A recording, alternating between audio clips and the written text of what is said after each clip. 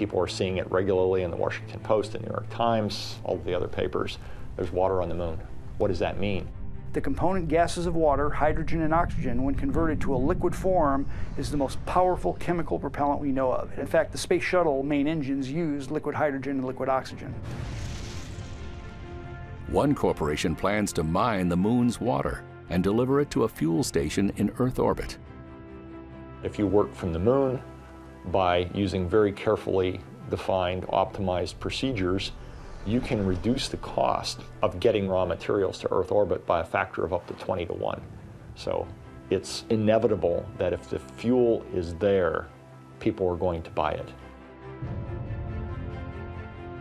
Once we've got a good transport infrastructure in place and we can begin to exploit the resources of the moon, then bringing lunar oxygen into low Earth orbit to fuel all of the activities, that's a major breakthrough.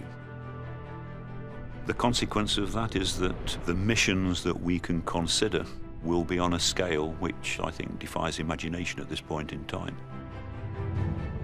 A resupply station in Earth orbit would be a stepping stone into deep space.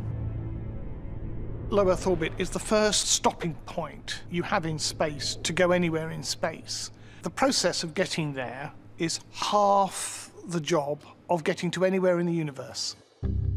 Several companies are already marketing services outside our orbit, including mining for precious minerals on nearby asteroids.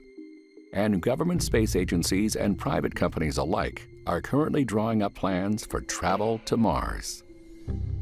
To get to Mars, you're going to need a spacecraft in the 700 ton region. There's no way you can launch that in one piece. It's got to be launched in pieces. It's got to be launched cost effectively.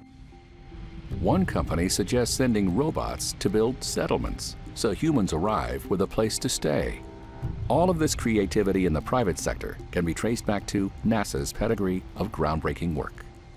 NASA have spent 50 years inventing the technologies that never existed before. We are the beneficiaries of all of that hard sweat and work. They have made possible what can now be done by private enterprise. That's really what this is all about.